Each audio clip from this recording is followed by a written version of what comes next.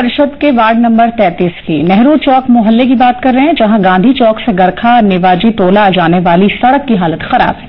करीब दस हज़ार की आबादी वाले इस इलाके में कूड़े और गंदगी का अंबार है।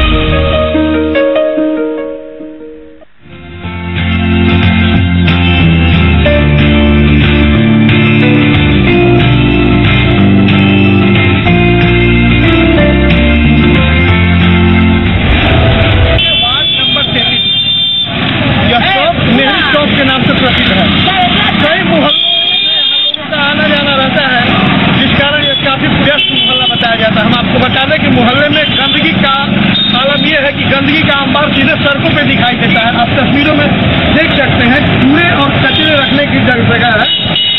नगर परिषद ने इसे ठीक ठाक नहीं बनवाया और यही कारण है कि शहर में सड़क पे कूड़ा कचरा जो है, ये अंबार बनाए हुए हैं।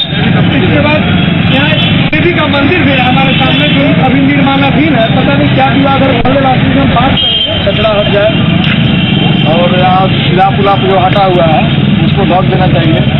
ताकि आदमी मैंने गिर ना पड़े। प्रॉब्लम क्या होती है? मतलब ये कचरा लग जाता है और उसमें क्या? है? तो वहाँ वही पुल को खतरा है। और पुल को खतरा है ये लोगों को खतरा लोगों को खतरा है पुल को भी खतरा है पुल डैमेज हो सकता है बराबर वहाँ पे साफ़ किया जाता है। और, क्या परेशानी है गंदगी उंदगी? पूरे गंदगी वहाँ फैला रहता है उसके गमक से कहीं आदमी को तो रहा नहीं जाता। आपके जो जनप्रतिनिधि हैं वार्ड सदस्य हैं विधायक हैं जनप्रतिनिधि जो है वार्ड कमिश्नर इस पर लोग ध्यान नहीं दे रहे कोई ध्यान नहीं क्या नाम आपका? हमारा नाम Ravindra. Government school there is no facility teachers but they only attendance and they not teach the students तो लोगों का यह भी साथ साथ कहना है कि यहाँ प्रशासनिक व्यवस्था जो है प्रशासनिक व्यवस्था में पुलिस की जो चौकी होनी चाहिए ये नहीं है जिसके कारण लोगों को परेशानी है और सरकारी विद्यालयों का हाल यह है कि यहाँ शिक्षक केवल हाजिरी बनाने आते जैसा यहाँ के लोगों ने बताया हम और लोगों से जाने की और क्या परेशानी है? परेशानी जो लाइट नहीं है सब अंधेरा रहता है। नाली रोड पर है सब या संबंधित बड़ा बड़ा करता है करता है लोग। नाली हाँ नाली का यही है यहाँ जितने भी घर है घर का जितने भी कचरा पानी निकलता है सारे के सारे रोड पर योजना चलाई है साफ़ चाहिए हर घर में नहीं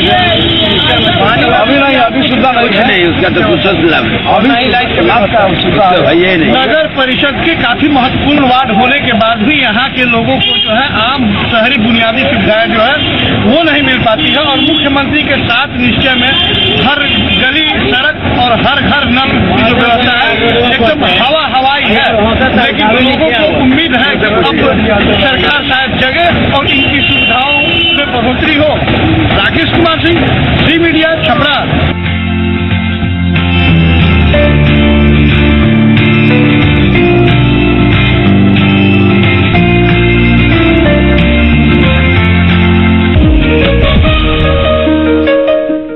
और खबर मोहल्ले में अब बात हाजीपुर के नया टोला मोहल्ले की। इस मोहल्ले में साफ़ सफ़ाई सबसे बड़ी समस्या है।